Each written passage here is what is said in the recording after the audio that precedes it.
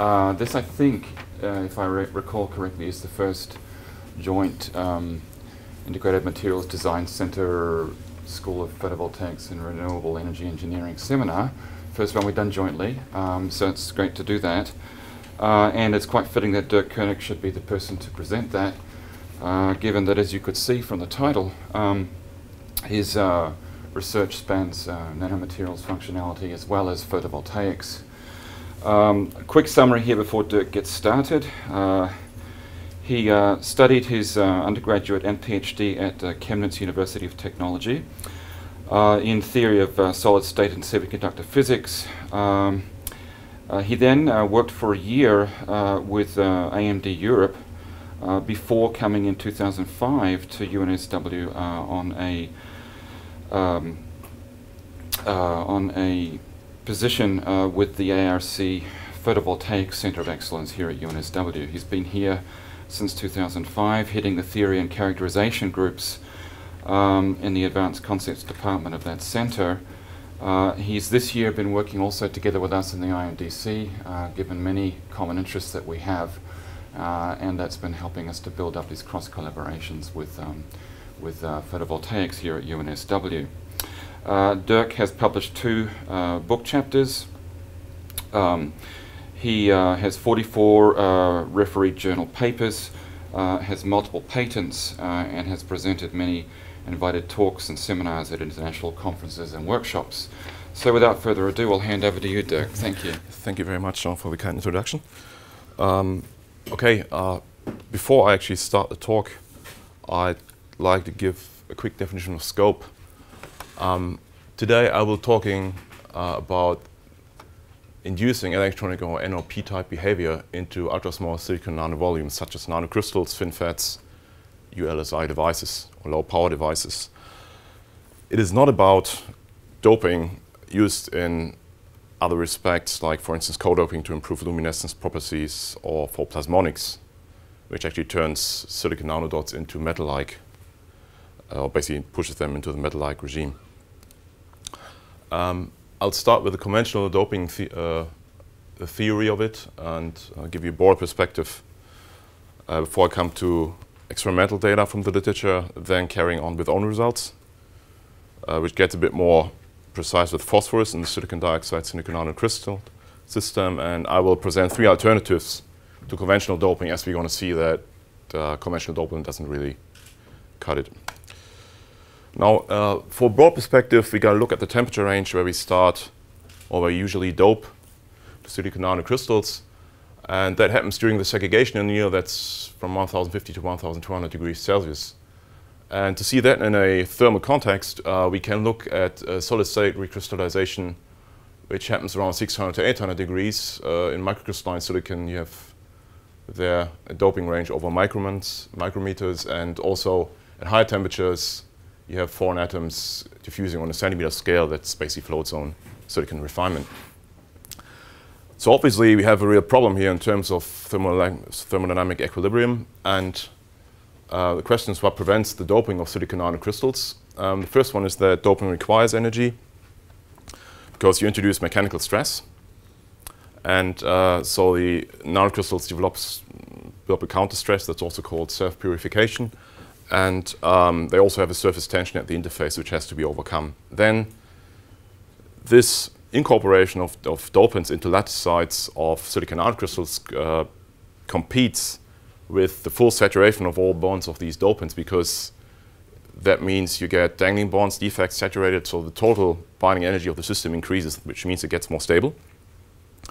And even if you manage to build a donor into a lattice site of silicon nanocrystal, you still have uh, to achieve a donor ionization energy which is on the order of the thermal energy at room temperature.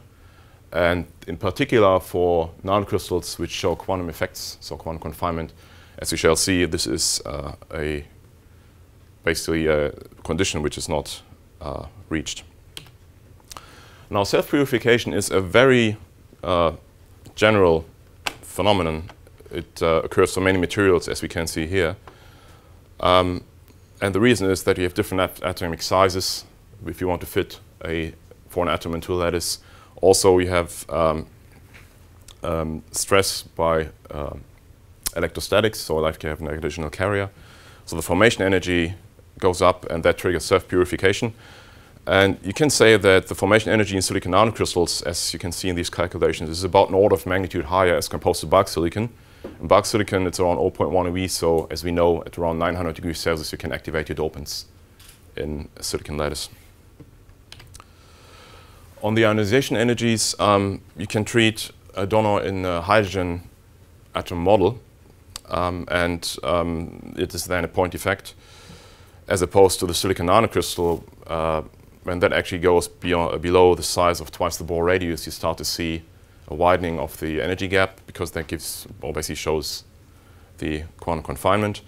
And until this donor actually feels quantum confinement uh, so that its, its uh, ionization, or sorry, its highest occupied level shifts towards uh, the vacuum energy, uh, you have to go to extremely small feature sizes. And that means that your ionization energy of your donor in that case uh, increases with shrinking nanocrystal size, as shown on the right diagram here.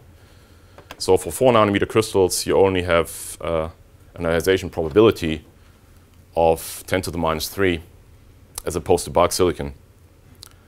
And uh, more precise uh, density functional calculations of 1.5 nanometer crystals uh, show us that we have a doping probability on the order of 8 uh, orders of magnitude below the bulk value, which is also not 100%, but obviously it's enough to make devices work very well. I'd like to come now to experimental data. Um, I start with freestanding nanocrystals. Um, there's been pioneering work done by uh, Vigas and um, Pereira of the Stutzmann Group at the Walter Schottky Institute in Munich.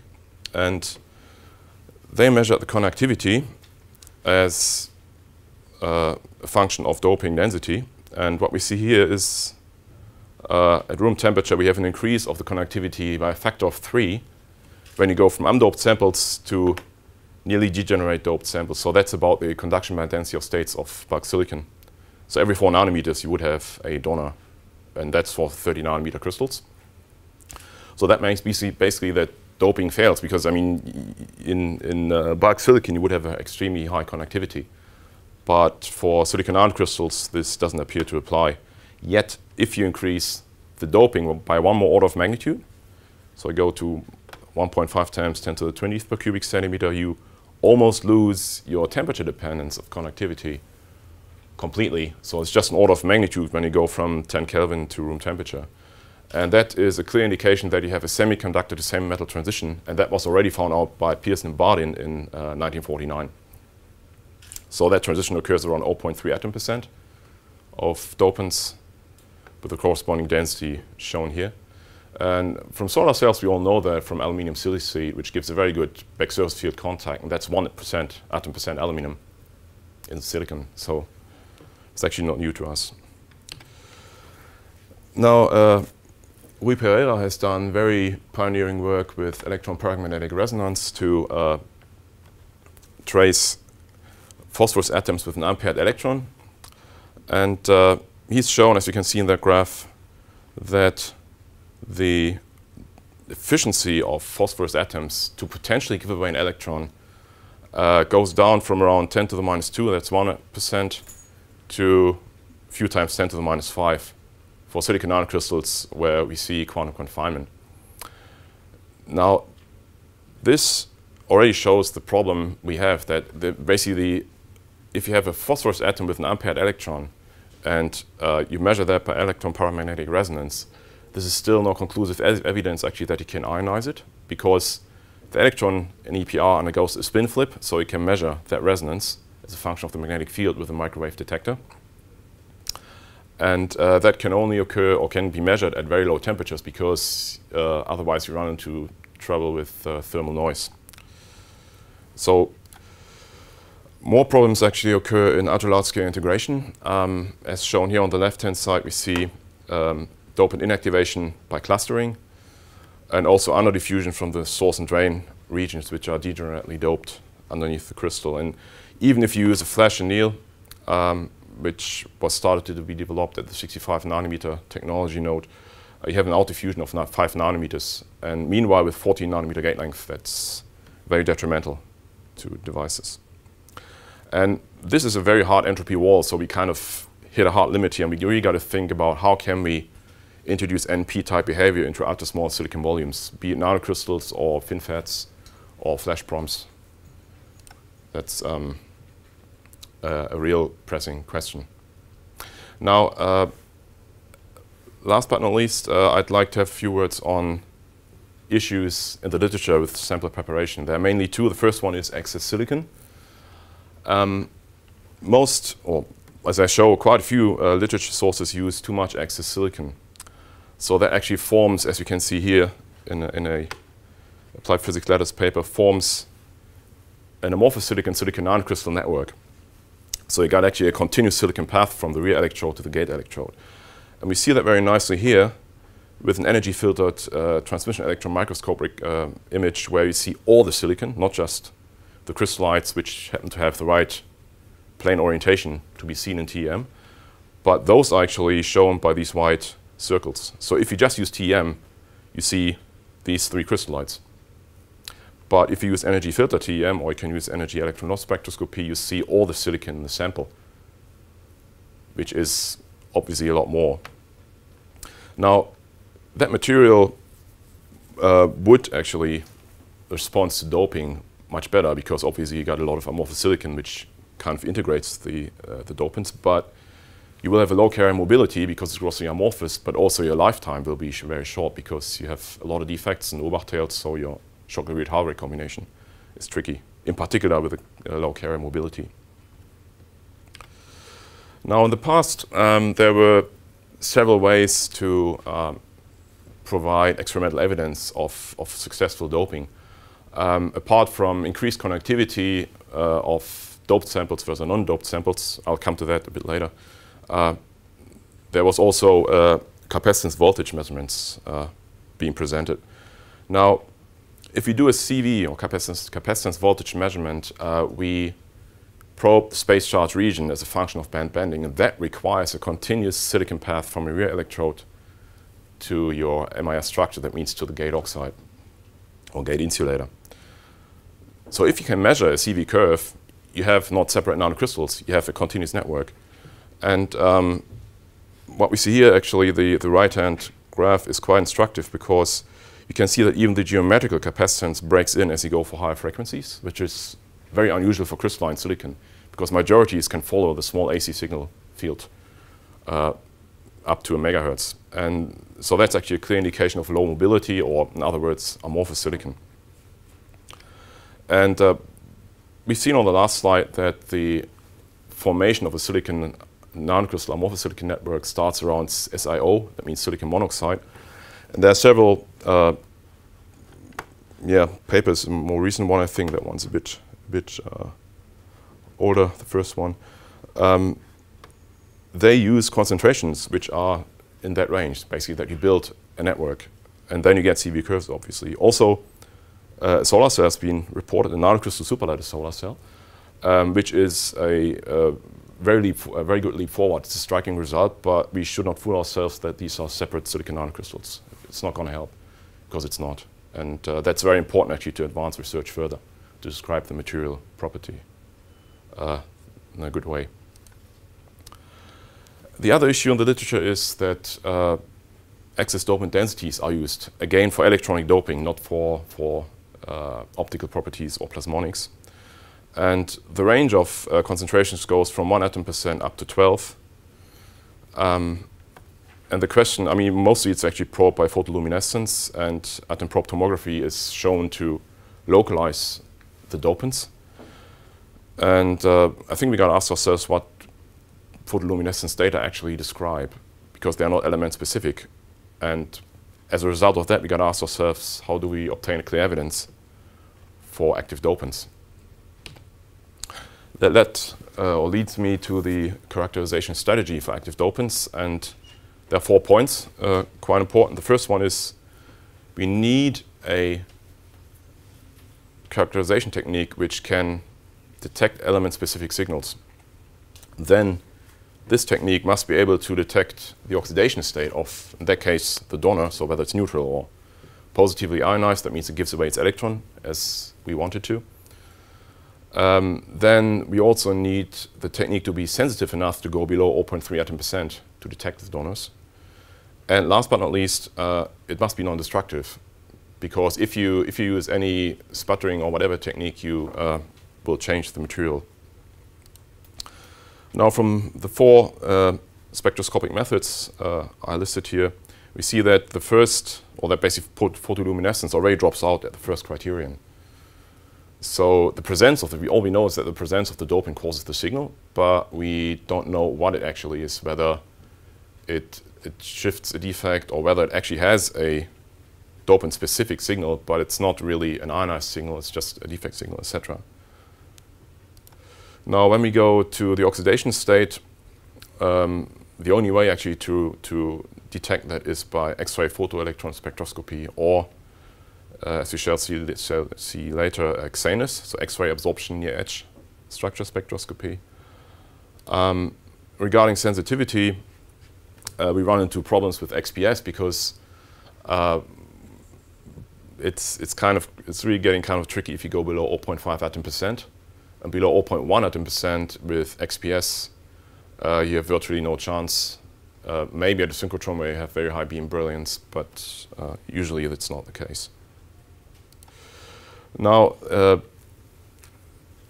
XPS runs into uh, more problems when it comes to leaving the sample intact because it's very surface sensitive. So usually we got to sputter into our sample to do in-depth probing of silicon nanocrystals, in particular for silicon because they need capping for preventing uh, air oxidation. And that causes uh, atomic rearrangement. You got different sputter rates depending on the chemical element. So you don't really see what was originally there.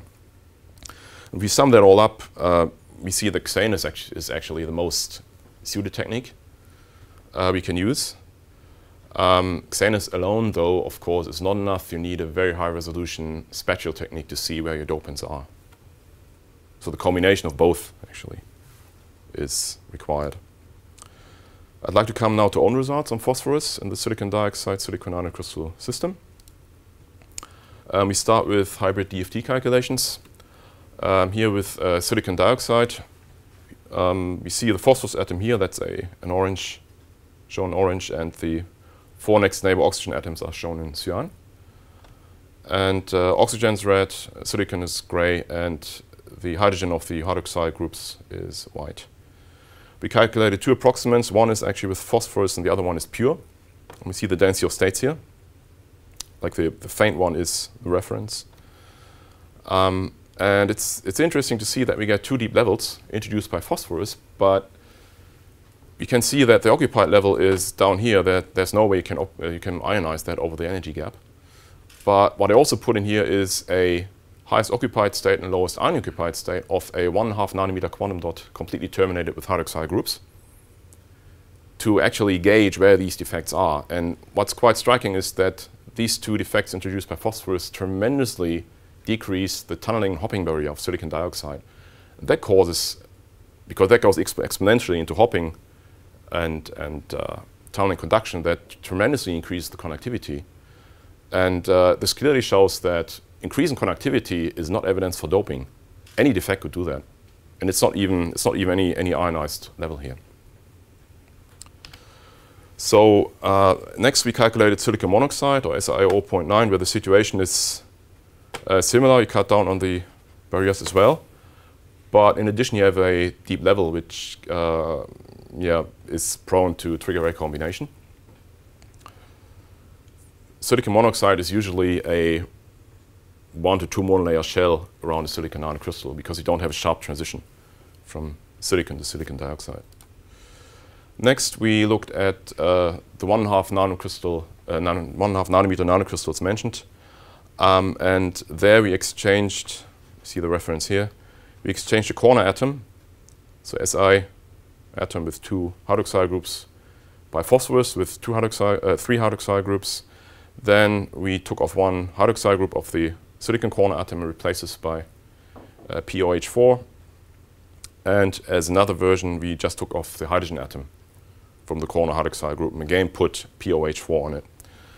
And the good news is actually you see there is no defect introduced in the gap, which is in accord with uh, theory. So as long as you don't go to excessive phosphorus concentration, your PL signal intensity actually goes up. And the reason for that is that you have gettering introduced by phosphorus. Because again, as I said earlier, in terms of, of thermodynamic, thermodynamics, it's uh, more stable if you have gathered bonds from the silicon, seen from the silicon as well as from the dopant atom. Now comes the most interesting part, which is uh, looking at phosphorus within silicon nanocrystals. And at first we put uh, phosphorus in the central position on a silicon lattice site. And please note that this situation is extremely rare because you got a very high formation energy. So while we have phosphorus within the nanocrystals, as I show, shall show later, um, it's, it's extremely rare that it's on the lattice site. What we get for one and a half nanometer crystal is we actually have a donor orbital, so that's, that's good news. However, the ionization energy is very large. That means at room temperature, there's no way we can ionize that.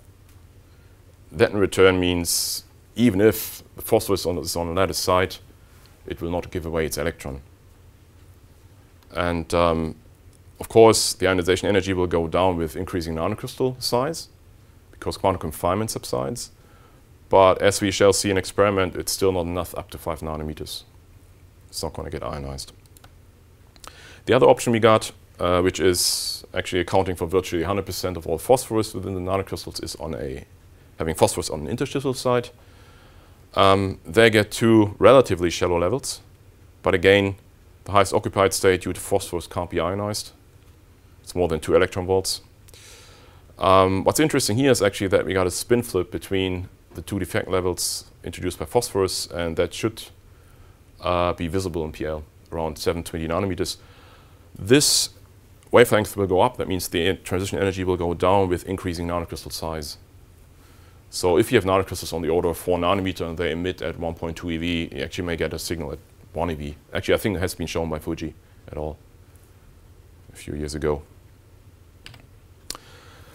Now, if we do all these calculations, we also got to make sure that we know, or roughly at least know, where the phosphorus atoms are. And that's actually where it gets a bit complex because you got so many nanocrystals, you got to work with statistics. There is no, no individual tracing as we do in DFT. Um, what we see here on the lower left-hand side is a proxygram which integrates over the normal vector of the interface, and it shows the oxygen, silicon, silicon, oxygen, and phosphorus concentration. And we see that the maximum is actually at the interface. So that supports the Gettering uh, hypothesis we have for thermo uh, from thermodynamics, but also we see there's quite a bit of phosphorus within the nanocrystal. And that is on interstitial sites. Now the decisive part regarding the ionization was the X-ray absorption near edge structure spectroscopy measurements. And what we do there is we excite a K-shell uh, level, which we can trace element specific, in that case of phosphorus. And we wait for electrons to drop back into that level and they send off an X-ray photon with a characteristic energy, element-specific characteristic energy. And that backdrop onto the K-shell level depends on the, on the ionization of the specific atom.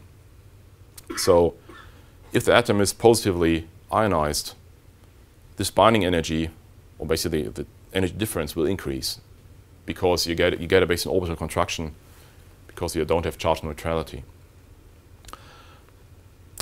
because we used an all-electron molecular orbital basis sets in DFT, we could also use these data uh, quasi as a spin-off to interpret the XANES spectra, which was very, very useful.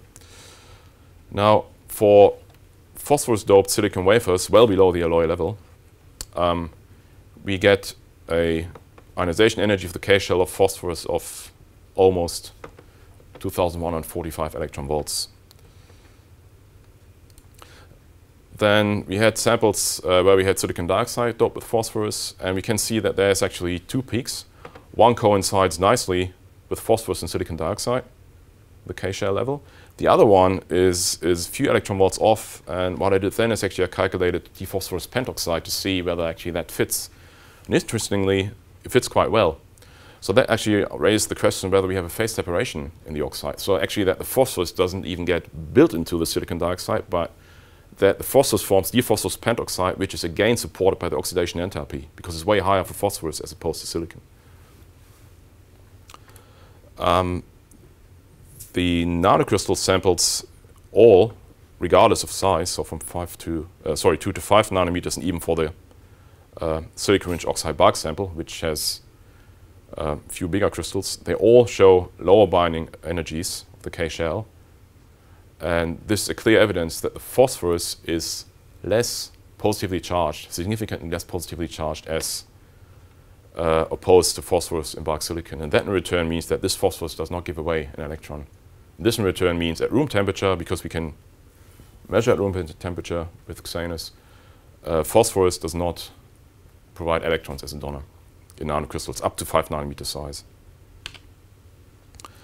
I'll come to the alternatives now. We have to conventional purity doping. And I'll start uh, with the interface impact of the dielectric.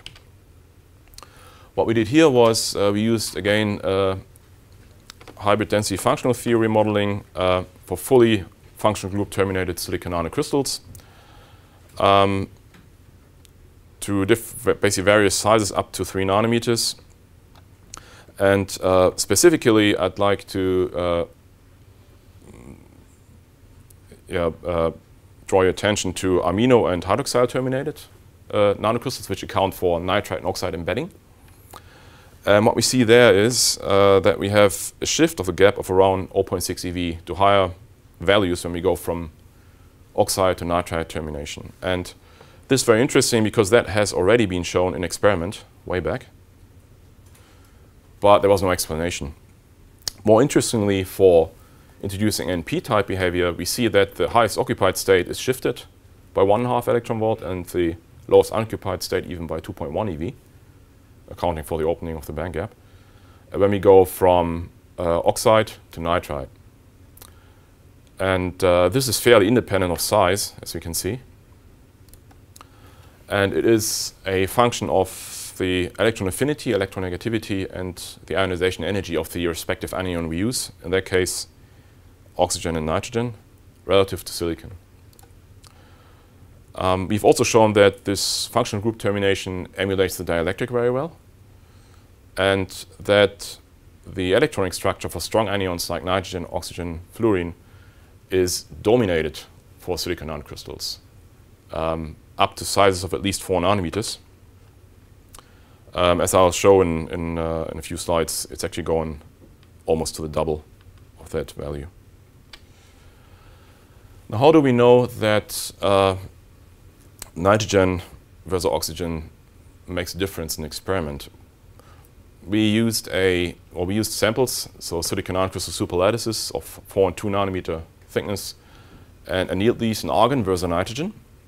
So if you anneal them in argon, there's, there's no atomic species being built into the structure. If we use nitrogen, uh, we get some nitrogen built at the, or built in at the interface from the silicon nanocrystal, the silicon dioxide.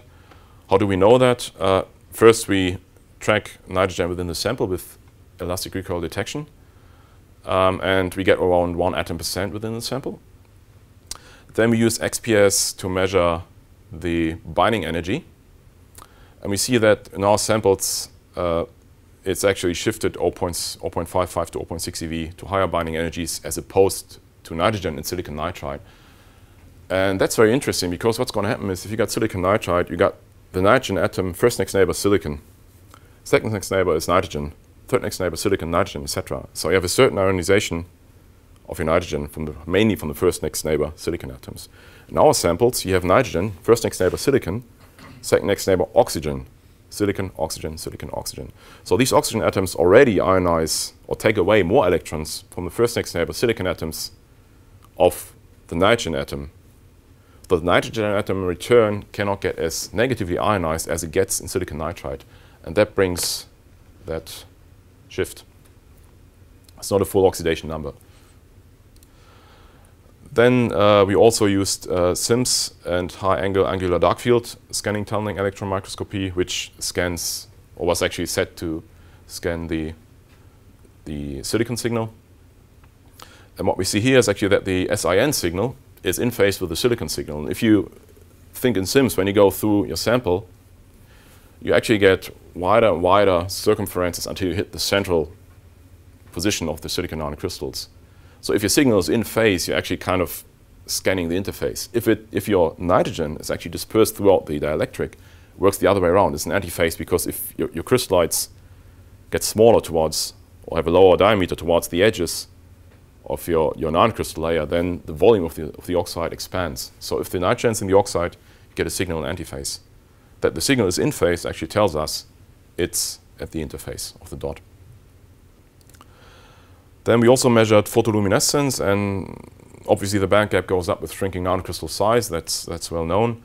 What we also saw is that we have an increasing difference of silicon nanocrystal uh, band gaps when we go from argon annealed samples to nitrogen annealed samples. So the smaller the dots get, the bigger the difference is.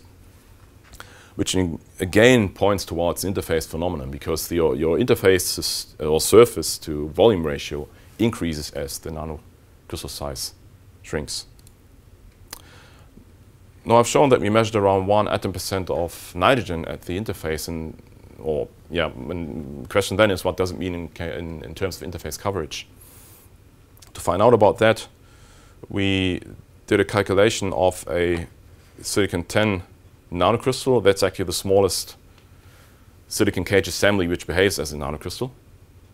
So it does, it's not like completely discrete in its density of states. And we covered that with three monolayers of silicon dioxide. So that's our reference, shown here in dotted lines.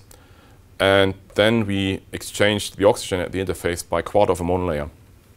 So we removed four out of 16 oxygen atoms and replaced these by, uh, by nitrogen atoms. And we also used the data of the uh, 1.9 nanometer nanocrystals completely uh, terminated by hydroxyl and amino groups. And we had an estimate uh, of the interface coverage with nitrogen of 1.0.1 uh, to 0.2 monolayers. And uh, this assumes that the band gap, or change in band gap, or sorry, change in energy gap of the nanocrystals is linear with, uh, depending on the anion coverage. Turns out that it's not, uh, as you can see here. So we have a complete uh, hydroxyl coverage and gradually remove the oxygen coverage and go to amino or nitrogen coverage until we have full amino coverage. And we see while the high occupied state and the lowest occupied state, unoccupied state, go up towards the vacuum level, the gap actually is kind of yeah, bouncing about a bit. So that actually opens up the range. And we still have the main value around 0.2 monolayers, but it's not as, as narrow as we originally thought. So we've seen that we have an interface charge transfer. The question is, how can we describe that now, and what's the impact? The description is fairly straightforward in geometrical arguments. So you have a certain impact length of your interface charge transfer in bulk. If you go to a quantum well or very thin layer, you have two adjacent interfaces, so you kind of double the distance. When you go to a nanowire, you can basically cut out a cylindrical element which takes the part which is non-periodic. And there you can turn these cubicles into wedges. So you have actually uh, smallest volume elements. And if, if, you integrate over these, you get the total volume. And a wedge is twice as long if you keep the same volume as opposed to a cubicle. Um, so again, you increase uh, the impact length of the interface charge transfer. And then when you go to a quantum dot, you do the same again. You take the wedge and cut it to a pyramid. So we come up with a ratio of the impact length shown here. Now, an experiment has been shown that you get different energy gaps for silicon nanocrystals of same size depending whether they are embedded in oxide or nitride. And that goes up to about 7 nanometers. So this gives us an estimate for the interface charge transfer impact length for quantum dots. So that means up to a diameter of 7 nanometers, the electronic structure is actually dominated by the dielectric, not by the size, which is um, quite indicative because if we look at absorption and PL energies, uh, it's, it's extremely difficult to get any reliable signal above 2 electron volts. Now, this also has been confirmed by silicon nanocrystal ionization, as we can see here from DFT. Um, we also have here the ratio of uh, silicon core atoms uh, to interface groups. That's actually the, the uh, purple curve down here. And you can see actually that for strong anions, fluorine actually is, is rather easy to calculate here. So we are up to three nanometers now. Uh, that we get a huge charge transfer there. It's 81 electrons. So this is way more than you have in a Coulomb blockade, for instance, with a small nanocrystal. And that means this nanoscopic field effect is very robust and every own crystal or every single crystal has its own nanoscopic field effect. Um, we also need a very small amount of dielectric coverage, so two or three monolayers will do it. And um, you can also see that it's a, surface or interface related effect by the quadratic curvature. And the fact that we don't see a turning point shows that even for three nanometers, we are still very far off the saturation limit. Now, what can we do with these results, you know, like getting basically an energy offset as a function of the dielectric?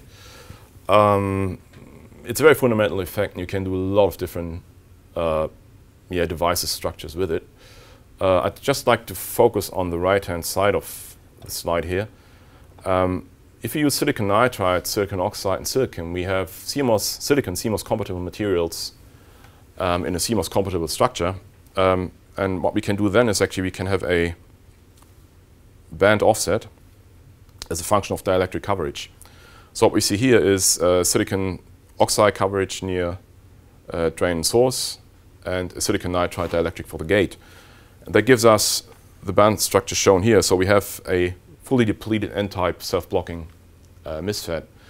And to get a p-type self-blocking MISFET, we just have to swap the dielectric. So we take, we take oxide here, nitride there, and we, we inverse the band diagram. And that's very, very nice because you can build two transistor inverters with that.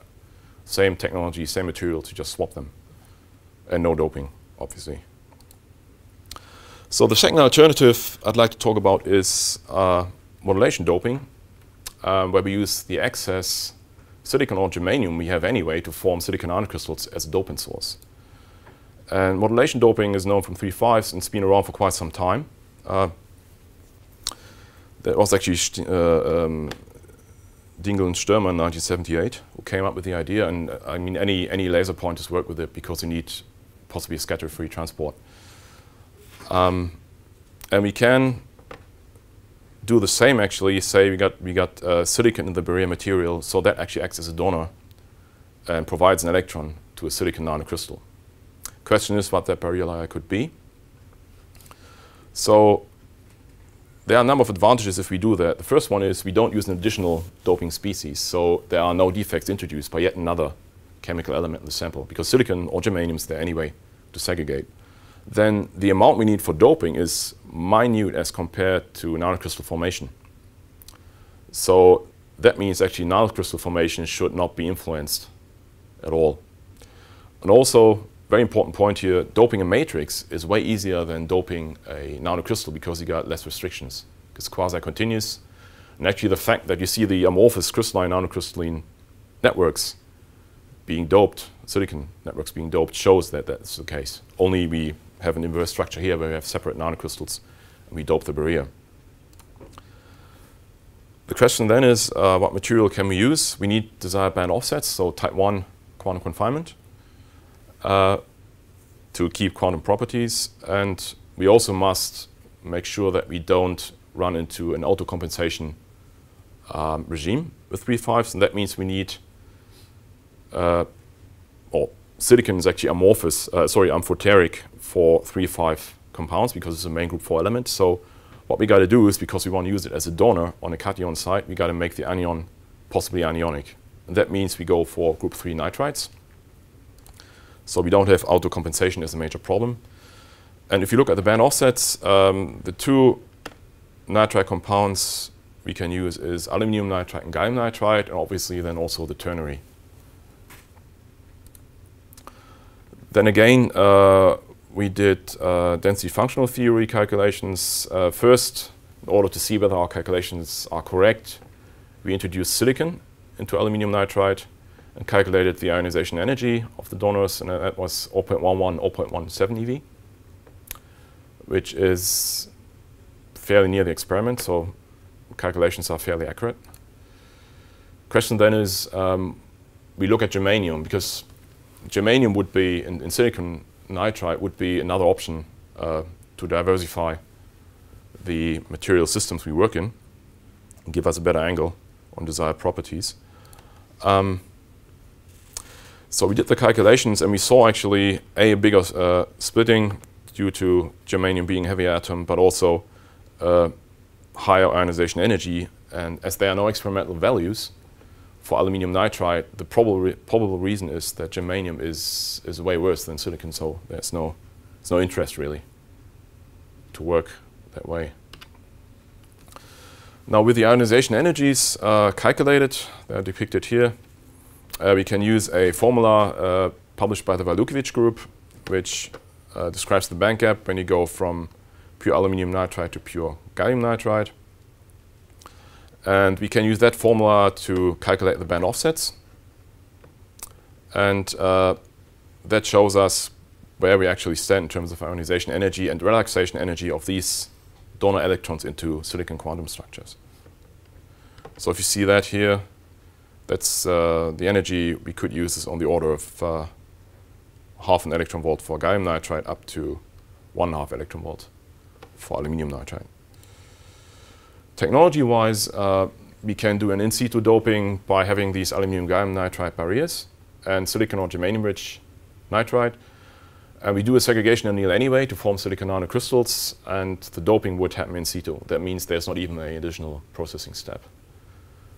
If the process design works out, because obviously these are two different processes, and uh, yeah, both have to fit into one uh, process parameter scheme. The last alternative I'd like to talk about is modulation doped silicon dioxide. Um, these are preliminary results here. Um, and uh, we start again with hybrid density functional theory. And the idea behind doping or modulation doping silicon dioxide is that silicon dioxide is simply the best material to passivate silicon in terms of chemical surface passivation, but also it's very, very, it's a very good material for phase separation. If you've got silicon-rich oxide, you have a much better phase separation as opposed to silicon-rich nitride or carbide. So it only appears to be logical to look into modulation doping of silicon nanocrystals, like this one actually showing uh, quantum behavior with a chemical potential, or also uh, bulk systems. As you shall see, this is uh, quite interesting as well. Now we again did a hybrid density functional calculation on a silicon 10 nanocrystal we've seen earlier in three monolayer silicon dioxide, but this time using different mo molecular orbital basis sets and pseudopotentials. Again, the reference is pure and the uh, doped sample has an acceptor complex at the very outer location we can have in the three monolayers surrounding the silicon 10 nanocrystal. And what I'd like to show you here is actually a detail of the highest occupied and lowest unoccupied state, um, which only exists in uh, the doped silicon dioxide. You can actually see the reference curve here, uh, the faint one for the, uh, for the pure silicon dioxide with the nanocrystal. Now, if we have an isodensity plot of these two orbitals, we see actually that they are located at the silicon nanocrystal, shown in cyan here, as well as at the acceptor complex. And that goes through three monolayers of pure silicon dioxide, or almost a nanometer. And so that, that is actually a very long distance in DFT. And it's also a significant density, as you can see, because uh, it's not, uh, it, it has a considerable spatial extension. And that means actually that with a 7 angstrom quantum dot, we just hit the energy limit that we can attract an electron from the silicon nanocrystal to the acceptor complex and thereby provide a hole to the nanocrystal. And that in return means for all bigger crystals where quantum confinement subsides, this energy difference is increasing. That means the electron has more and more energy to gain when it goes from the nanocrystal into this acceptor complex, which means it works over longer distances and with higher probabilities. Um, I'll show experimental results now, uh, which are kind of uh, preliminary. Um, the general structure we use so far for uh, doping characterization is shown here. So you mostly have n-type silicon wafers, rapid thermal oxide, the acceptor complex in monolayers, and a capping oxide with a gate. With the high frequency CV measurements, uh, we see a shift of the band voltage due to a fixed negative charge, which in return is due to um, the negatively ionized acceptor complex. Um, we also used deep level transient spectroscopy, which is a very viable technique um, to clarify the energetics and kinetics of defects such as uh, modulation acceptors in uh, silicon dioxide. And we have we applied two schemes. Uh, the first one we used here was uh, to pulse at, at, very low temperature to pulse the samples into deep depletion. Uh, sorry, into into flat band. So actually fill the acceptor states, and then you go back to deep depletion, so you lift up your band structure, and then you watch or record the transient, how the electrons tunnel back out. We do that at very low temperature to get maximum energy resolution, so we don't have hopping or thermal broadening. And what we found out is that this energy distance is around 0.6 eV from below the valence band edge of silicon. And we can even use a 1D Poisson solver to come up with the distance these peaks, two peaks have when we decompose the signal, and it turns out that the movement of the of the uh, acceptor complex is extremely small. It's about plus minus two angstrom, so it's a monolayer, and that in return means we can make extremely thin layers, like 10 angstrom if you want to. It's probably a bigger problem to make the layer than to dope it, um, which again is very very good for transport. Now we use another scheme with DLTS at high temperatures to account for the maximum density of ionized acceptors. And there we used scheme A, which means we keep the sample flat band voltage and then we quickly pulse into P inversion. At that temperature, like 500 Kelvin, you won't have depletion or any, anymore by inversion. Um, and then we go back to band voltage and we look all the electrons going back into these acceptor states. And by using, uh, choosing high temperature, we activate all transport paths, so tunneling, thermal hopping, uh, trap-assisted tunneling. So basically, all, all the gates, the maximum density of carriers can go back. And that correlates very nicely with the number of uh, monolayers of uh, modulation acceptors. And you can also see in terms of kinetics with the pulse time, which discharges uh, the modulation acceptor complexes, uh, that you have because that's proportional actually to the position or depth within the oxide, that you have uh, a clear difference. Now, what can we use these uh, modulation acceptors for? Um, obviously, it's again, it's CMOS compatible, and for ULSI, it's very interesting because you can again introduce p-type behavior in silicon nanovolumes, but without size limit, because the oxide nitride coverage has a size limit. Um, otherwise, probably would have been discovered earlier. Um, but for this doping principle, there is no size limit, as we know from 3 5s uh, with modulation doping.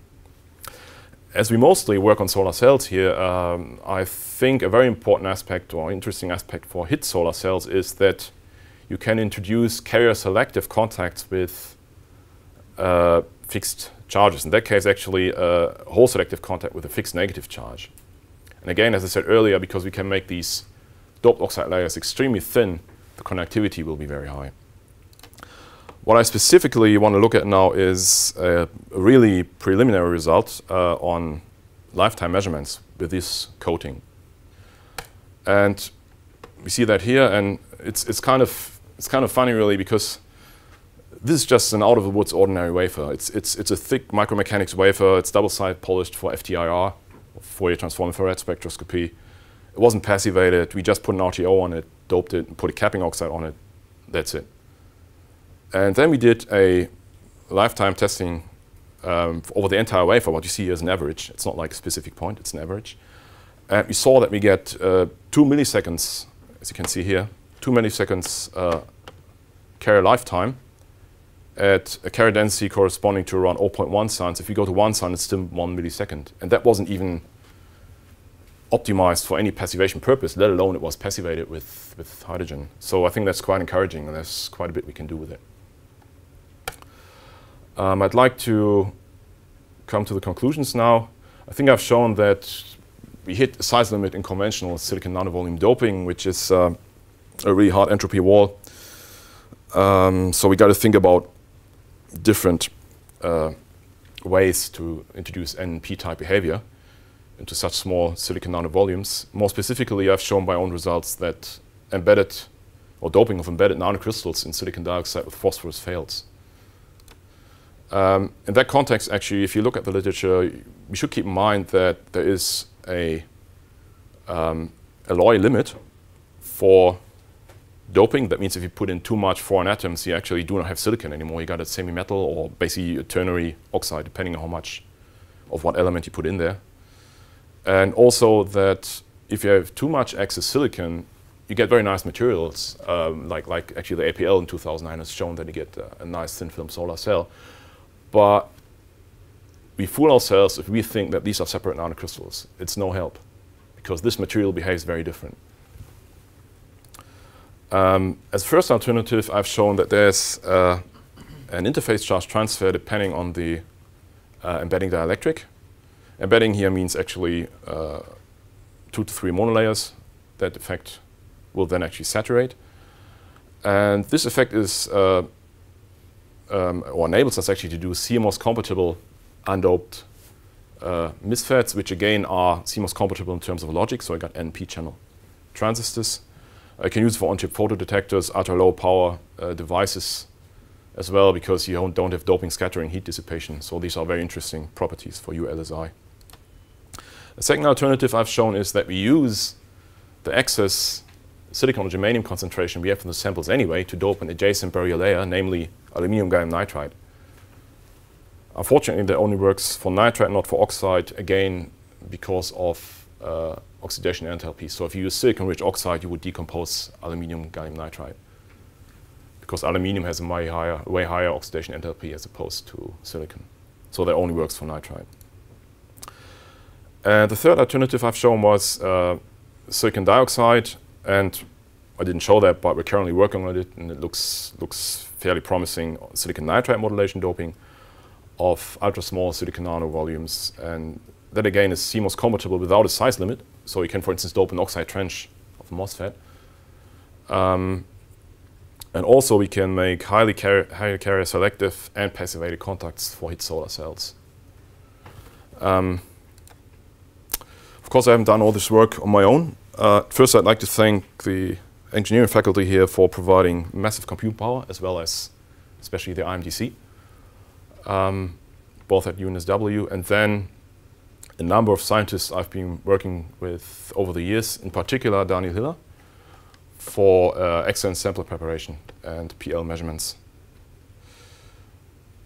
Yeah, so I'm, I'm finished with my talk. Uh, if there are any questions, we still got five minutes, I think, yeah. So.